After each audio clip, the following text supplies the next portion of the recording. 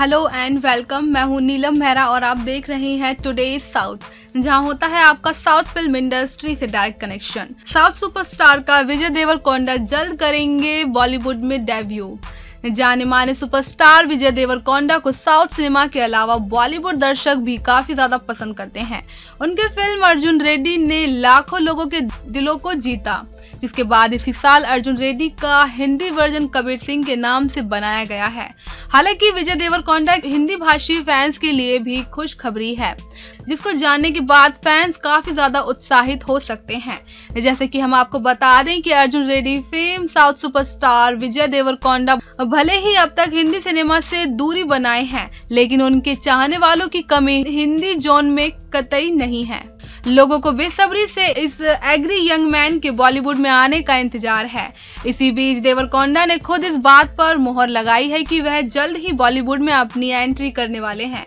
जब से उनकी फ़िल्म की रीमेक कबीर सिंह ने बॉक्स ऑफ़िस पर तहलका मचाया है, तब से विजय देवरकोंडा के फैंस की गिनती भी कई गुना बढ़ गई है इसके बाद डियर कॉमरेड ने एक बार फिर साबित किया कि लोग उन्हें हिंदी सिनेमा में देखने के लिए काफ़ी ज़्यादा बेकरार हैं। इसी बीच विजय देवरकोंडा से एक फ़ैन ने पूछा कि क्या वह अगली तमिल या मराठी फ़िल्म करेंगे तो उन्होंने साफ़ तौर पर कहा कि मैं अपनी अगली फ़िल्म जल्द ही बॉलीवुड में बनाऊँगा। इतना ही नहीं फ़िल्मों को लेकर अपनी पसंद पर विजय देवरकोंडा ने भी कहा कि वह रोमांटिक एक्शन और ड्रामा फ़िल्में करना काफ़ी ज़्यादा पसंद करते हैं। खैर, इन दिनों विजय देवरकोंडा अपने नए घर के कारण चर्चा में है। विजय देवरकोंडा ने हाल ही में हैदराबाद के जुबली हिल्स में एक नया घर खरीदा है, जिसकी कीमत 15 करोड़ रुपए की बताई जा रही है और विजय का कहना है कि यह घर इतना बड़ा है कि उन्हें उसमें डर लगता है। इस तरह से साउथ सुपरस्टार विजय देवरकोंडा ने खुद इस बात पर मोहर लगाई है कि वह अब जल्द ही बॉलीवुड में अपनी एंट्री करने वाले हैं।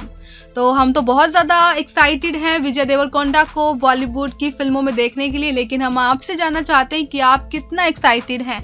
अगर आप भी हमारी तरह एक्साइटेड हैं तो आप प्लीज़ हमें नीचे कमेंट बॉक्स में लिखकर ज़रूर बताएँ। और इस अपडेट से जुड़ी आपकी जो भी राय है, वो आप हमारे साथ ज़रूर साझा करें। और आप हमारी न्यूज़ को टूडेज डॉट कॉम पर भी देख सकते हैं और यूट्यूब पर सब्सक्राइब भी कर सकते हैं। थैंक यू सो मच की watching today's for more news